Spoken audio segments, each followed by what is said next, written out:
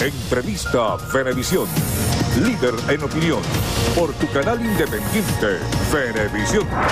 Muchísimas gracias por acompañarnos en Entrevista Venevisión. Ya estamos listos para iniciar nuestra conversación con el invitado del día de hoy, Miguel Pizarro, diputado ante la Asamblea Nacional en representación de la unidad. Gracias por acompañarnos. Un saludo, Andrina. Muchas gracias por el espacio. Es muy interesante su presencia en el estudio, sobre todo a partir de las declaraciones que ofreciera hace tan solo minutos la fiscal general de la República, donde ofrecía un balance de los hechos de violencia en nuestro país, presentaba el saldo de 26 personas detenidas, también hablaba de 65 privados de libertad, más de 1.200 aprehensiones en todo este proceso de manifestaciones.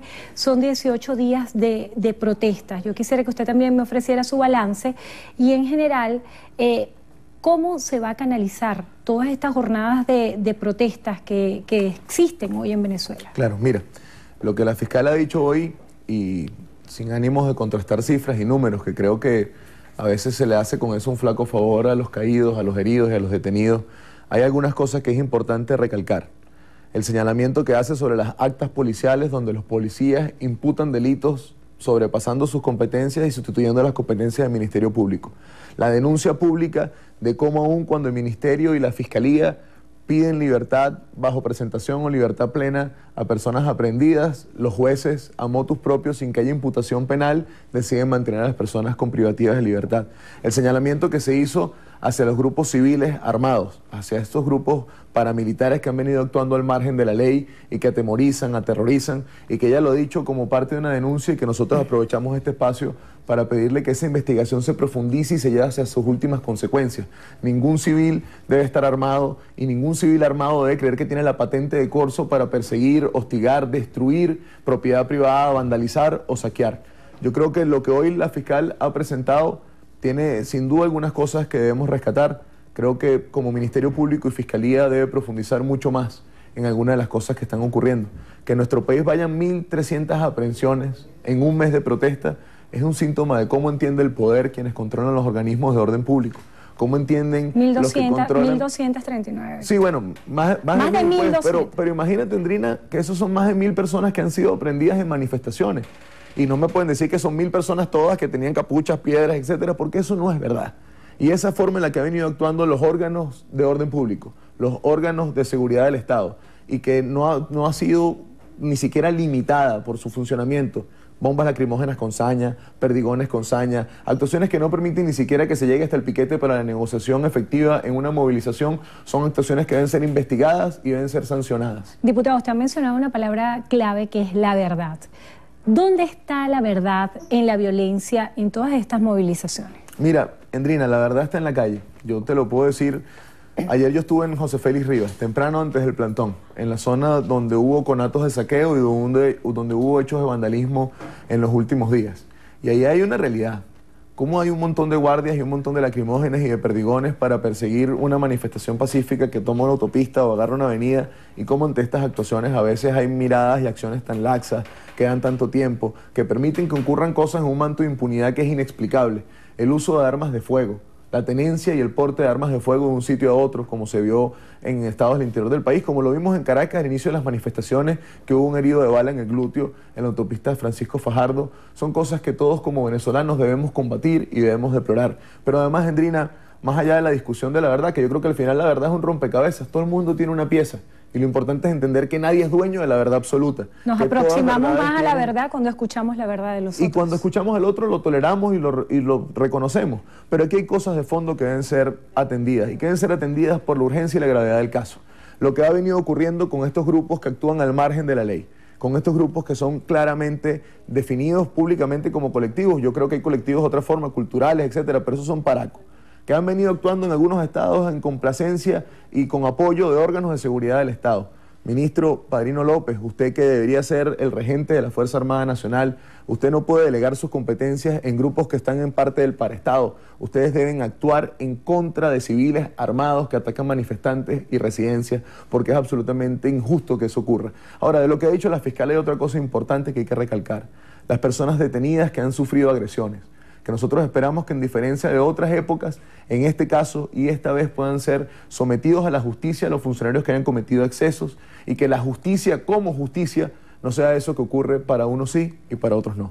Diputado, hay varios temas que tratar. Sería muy interesante que analizáramos las declaraciones que hacía el ministro Elías Agua, quien se le ha encomendado la labor de ser mediador en esta nueva propuesta de diálogo que ha hecho el Ejecutivo Nacional. Él asegura que confía en un desenlace electoral. La MUD está jugando con fuego, no podrán incendiar a Venezuela, pero se pueden quemar ellos mismos las manos. Eh, quisiera que habláramos acerca de esa afirmación y sobre todo el desenlace electoral. ¿Piensa usted cuando se habla de elecciones que en la mente de las personas que está protestando está la idea de unas elecciones generales o un proceso electoral de gobernaciones y alcaldías? Mira, hay que caracterizar algo más básico, Andrina. Hoy en nuestro país no hay elección de nada, de un consejo comunal. Y Maduro, Agua, varios de ellos son como el pavo de la fiesta que le busca pleito a todo el mundo y cuando llega la hora que se le plantan dice agárrame que le pego rezando que alguien lo agarre. No basta con un titular de prensa que diga que quieren desenlace electoral. Todo el mundo sabe quién controla el CNE. Todo el mundo sabe que ellos controlan las instituciones del país. Nuestra lucha ha tenido cuatro exigencias muy claras. Elecciones, para que los venezolanos con nuestro voto podamos decidir quién debe dirigir los destinos de la nación en todos sus ámbitos. Respeto a la Asamblea Nacional, que fue electa por más de 14 millones de venezolanos y que se le han limitado sus competencias y se ha perseguido a sus diputados, como es el caso de Tomás Guanipa. Liberación de los presos políticos y retorno de los exiliados, que se les permita que puedan tener una vida normal en libertad, que nadie sea perseguido por su pensamiento político y apertura de un canal humanitario, que evita que sigan muriendo hermanos y hermanas por falta de medicinas y alimentos. Ahora, aquí hay discusiones que parecieran ser dicotómicas.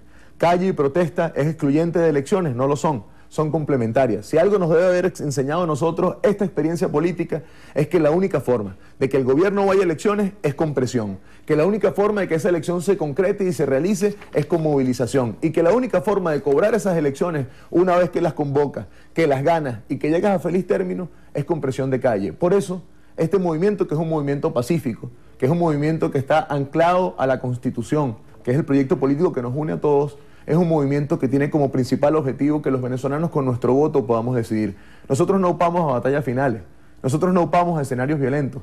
No hay nada más pacífico que pedir elecciones, no hay nada más pacífico y más constitucional que pedir que seamos todos nosotros, usted que no ve en su casa, quien con su voto decida cómo debe ser el futuro de este país. Ahora, la respuesta a esto que ha sido allanamientos, persecuciones, ollas, paramilitares, la DGCIN en la puerta de la casa de Tomás Juanipa, odio como discurso. ¿Cuál fue la respuesta a la exigencia del 19 de abril de elecciones e intentar llegar a la Defensoría del Pueblo? Un discurso que decía que ni con sangre había cambio en este país, que se había que tomar Kalashnikov, las iban a tomar para defender la revolución. ¿De qué lado está la violencia? ¿De qué lado está el mensaje de la intolerancia? Nosotros entendemos que hay una parte del país que puede no pensar como nosotros, que claramente hay una mayoría que piensa como nosotros y quiere cambio. Ahora la otra parte no va a dejar de existir, la otra parte va a seguir viviendo acá. Que sean los votos, que sea la posibilidad de cada uno participando quien decida cómo debe ser esto. Ahora, no se puede ocupar la violencia y la confrontación hablando de Kalashnikov, que ni con sangre, porque eso tiene un objetivo, Andrina, que la frustración, que eso que intentan hacer que usted piense que este país es imposible que cambie, que eso que intentan hacer de sacar lo peor de cada uno de nosotros sea lo que se manifieste en la acción política. Y aquí no solamente hay que hablar de cambio porque hay que cambiar a un poder por otra forma de entender el poder. El primer cambio es nuestro ejemplo. Y por eso la política debe estar a la altura del momento histórico y entender que lo que uno dice genera categorías, que las agendas que uno plantea generan acciones y que cada uno de los pasos que nosotros damos generan consecuencias. Y aquí hay una mayoría del país que quiere cambio, pacífico, constitucional y electoral, aunque el gobierno lo siga negando. Desde el punto de vista eh, retórico, la política se interpreta como una confrontación de ideas y siempre está servida la mesa de diálogo. ¿Cree usted que en Venezuela sea posible el diálogo después de todos los caminos que se han transitado? Mira, ¿qué diálogo más importante que el de la elección? Queremos que haya reconocimiento, que los venezolanos voten. Queremos que haya una expresión pacífica que cierre este conflicto para un desenlace, sea quien sea que gane la elección. Vayamos a que sean los votos los que hablen. Queremos reconocimiento entre las partes. Permitamos que el ciudadano se exprese. Cesemos la persecución. Cesemos las hostilidades. ¿Cómo a una movilización pacífica amparada por la Constitución se le responde como se le responde? Acá no es con expresidentes, no es con el Vaticano, no es con estas formas tradicionales que, ojo, yo creo que todos los procesos políticos al final nos obligarán a tener que hablar, pero tendremos que hablar con elecciones, Tendremos que hablar con el ciudadano como protagonista. Tendremos que hablar con un marco de reglas claras que hoy no existe, porque quienes gobiernan se han burlado hasta del Vaticano, se han burlado de los acuerdos, no cumplen absolutamente nada y por eso de este lado hemos sido muy claros. Elecciones, respeto a la Asamblea, canal humanitario y liberación de los presos. Son las mismas cuatro exigencias que tenemos ya hace bastante tiempo y que las mantendremos ahora al calor de la calle y de la movilización, porque creemos que es lo justo y es nuestro derecho. La propuesta de constituyente. Mira, al final todo lo que ellos dicen son titulares. Primero empezaron y vamos a hacer una recapitulación de las últimas tres semanas. Nosotros queremos elecciones, después queremos elecciones, mega elecciones, después queremos elecciones este año de gobernadores y las que vienen de presidenciales. Ahora van por constituyente, van cinco cosas distintas que han dicho en tres semanas. Al final, que pongan fecha. No se trata de titulares ni se trata de discusiones. Mientras que nosotros hablamos aquí, en el JM en Los Ríos hay chamos que se están muriendo porque no hay insumos. Mientras que hablamos aquí, hay un montón de mamás ruleteando a ver cómo consiguen algo de comida para sus chamos. Mientras que hablamos aquí, probablemente a alguien le están robando un teléfono, le están pegando un tiro por algún bien personal. Y ese país que está en crisis, ese país que no ha conseguido respuesta dentro del gobierno, que no ha conseguido respuesta dentro de las instituciones, ese país se está expresando en las calles. Y creo que subestiman la emocionalidad de la gente. Aquí se combina la esperanza de un futuro mejor con el hastío y la molestia de la crisis a la que nos quieren condenar y a la que nos quieren someter. Y esas dos cosas en conjunto son el camino para que este país cambie. Diputado, ¿cómo capitalizar todos esos sentimientos que tienen hoy los venezolanos y que ha sido evidente en el conjunto de marchas y movilizaciones en un proyecto de país y en una propuesta concreta que se pueda encarar en un liderazgo. ¿Cómo capitalizarlo? ¿Existe hoy un líder por parte de la oposición venezolana que pueda ser el rostro y el protagonista de esa propuesta de país? Mira, más allá de los liderazgos individuales que existen, nosotros tenemos en el seno de la mesa líderes importantes como Capriles, como Leopoldo, como Henry, como muchos otros, hoy no es un momento del cálculo político pequeño. Y creo que si hay algo que todos debemos entender es que estamos fuera del tradicionalismo político. Acá no estamos en una contienda como campañas electorales o como acumulamos simpatías y nos vemos más bonitos de cara a un proceso político. Aquí estamos en un momento de crisis. En nuestro país se rompió el orden constitucional. En nuestro país, a raíz de las sentencias y lo que ha intentado Maduro, se ha intentado poner una hegemonía en nuestro país que nos obliga a trascender de la visión tradicional de la política y entender que el rol del político hoy es dirigir con su ejemplo para que este país cambie. ¿Qué viene? Hay una agenda que ya ha sido anunciada por la Mesa de la Unidad Democrática en la cual está prevista que el día de mañana haya una nueva marcha hacia la Defensoría del Pueblo. ¿Hasta cuándo se van a seguir las acciones de calle? Mira, nosotros seguiremos las movilizaciones de calle, Endrina, porque es nuestra obligación y nuestro deber como mayoría política que quiere expresarse. Mañana nos vamos a estar concentrando en los mismos puntos en los que nos concentramos el 19 de abril e intentaremos nuevamente ir hacia la Defensoría del Pueblo. Aprovecho este espacio que seguro lo está viendo, Defensor del Pueblo. Usted tiene un rol en este momento histórico. Usted tiene una obligación con el cargo que usted ocupa y usted debe de una vez por todas dar la cara y recibir a quienes exigen de usted más que dos tweets y más que un consejo de cómo ser mejor fitness. Nosotros iremos mañana pacíficamente con la Constitución en la mano nuevamente desde los puntos del 19 de abril hacia la Defensoría del Pueblo que se encuentra en el municipio Libertador, en la Plaza Morelos. Y después de ahí, el día jueves, tendremos una sesión de la Asamblea en la calle y al finalizar el día jueves anunciaremos el resto de la agenda que nos llevará hasta el primero de mayo, gran día del trabajador, movilización popular de todos los sectores de este país. Vamos a, vamos a revisar las preguntas de la audiencia. Luis Tesorero plantea, los 26 muertos que van por las protestas, ¿eso quedará impune? ¿La MUD se quedará de brazos cruzados? Mira, no puede haber impunidad. Bueno, no son 26. Y, bueno, y más allá de los números, es que un muerto no es una estadística. Es un nombre, es un apellido, es una familia, es un dolor que no puede quedar impune. Así como no puede quedar impune las detenciones arbitrarias, las desapariciones forzosas, los casos de tortura. Todo esto tiene que pasar por la justicia, porque la única forma de que haya paz en nuestro país es que haya justicia. Justicia en lo electoral y justicia en el camino tradicional de lo judicial. Eh, el Águila plantea, están montando barricadas y están cobrando para dejar pasar, o sea, la delincuencia disfrazada de protestas pacíficas. Mira, ni el vandalismo, ni la delincuencia, ni las alcabalas, ni los peajes, ni los paracos, nada de eso son formas de expresión política. Y lo decimos con mucha responsabilidad. Cuando uno se encierra en su propia calle, a quien le hace daño es un vecino.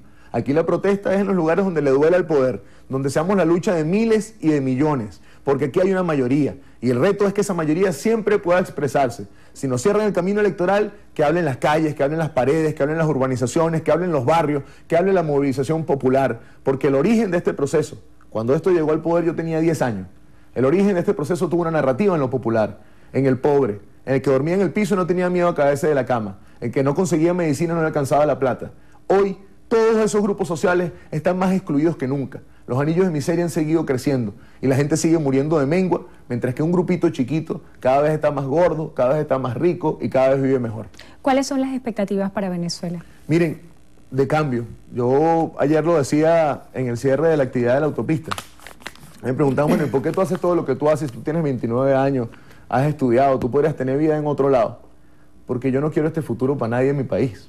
Yo no quiero que este presente que estamos viviendo se convierta en una condena para el resto de nuestra vida. Yo no quiero que el DIGESIN en la puerta de los dirigentes sea algo normal. Yo no quiero crecer en un país donde pensar distinto nos haga enemigos, donde el poder se vea como una herramienta para la coacción y la persecución y no para las soluciones. Pero sobre todo porque yo, cuando yo tenga una familia, cuando yo tenga un hijo o una hija, lo que me dé la vida, yo quiero poder decirle con el pecho inflado de orgullo que cuando ella estudie las páginas de historia de cómo cambiamos el último modelo como este que está viviendo de atraso, de fracaso y de división, yo poder decirle que esa página la escribí yo y la escribimos todos los venezolanos. Ellos quieren que nos cansemos, ellos quieren que pensemos que es imposible y no les demos el gusto. Este país va a ser mucho mejor que lo que estamos viviendo, pero depende de cada uno de nosotros, de nuestra acción, de nuestro ejemplo y de esa construcción del país que viene, donde tener algo no implique que nos puedan matar, donde el esfuerzo privado sea respetado y el esfuerzo público facilite, y donde ser joven no sea una condición que te obliga a debatirte entre Maiquetía o el cementerio porque se te acaban las oportunidades. Y es muy clave eso, ser el ejemplo, convertirnos en el país que queremos ver. Gracias a Miguel Pizarro, diputado ante la Asamblea Nacional en representación de la Unidad, por estar con nosotros hoy en Entrevista a Benevisión. Muchas gracias a ustedes. Gracias a ustedes también por habernos acompañado. Que tengan todo feliz.